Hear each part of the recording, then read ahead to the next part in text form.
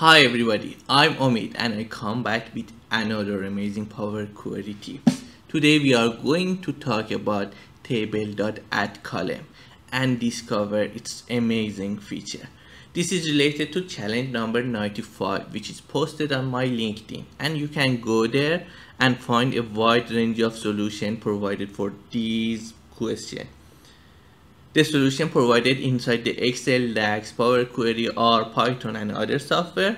But we are going to solve this problem by using Power Query. The challenge is related to the product's inventory value and we are going to extract the last inventory for each product.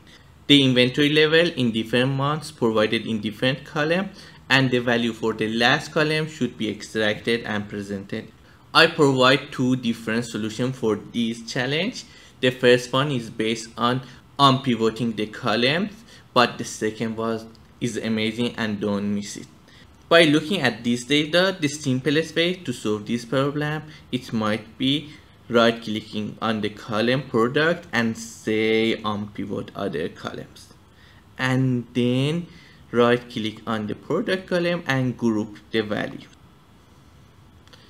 At the beginning, let's use count rows as an operation which result in this formula, including three parameters for the table.group. First is the name of previous steps that we are going to summarize its data. Second is the name of column that we are going to group the value based on that column. And third, which is important, is the operation. It means that uh, let's call the name of new column as a count let's change it to the last inventory.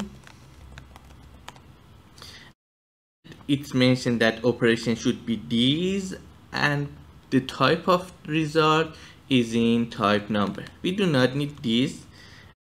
Instead of using this operation let's write underscore and see the results. It presented the data for each group in type table. Out of all the values inside this table we just need the last one. So let's say we need the value on the column values. Its result it convert the table into the list including all the values on that column. And we just need the last one so write list dot last and press enter. It's going to present the last inventory of each product by using table.group and unpivoting but by knowing the feature inside the table.add custom column you do not need to use such advanced function. You can easily solve the problem. So back to the example and add a custom column at the beginning let, let's call it the last inventory. Inventory. At the beginning I just put underscore here and see the results. It present the result in type record including all the values for that row. So for the first one its record include fields product equal to a Jan equal to 89, Feb equal to 93, and the same for other rows. For example, for this one, it's result in a record including all the values for this row. It is hard to extract the last non-null values from the record. So I prefer to convert this record to the list by using record the to list based on this function it's going to pre present all the values in each row in type list.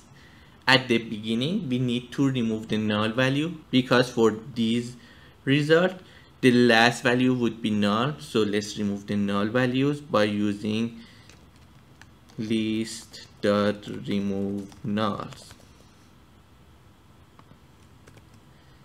and then it just need to use list dot last to extract the last item. So write list dot last to extract the last item by using this amazing feature of custom function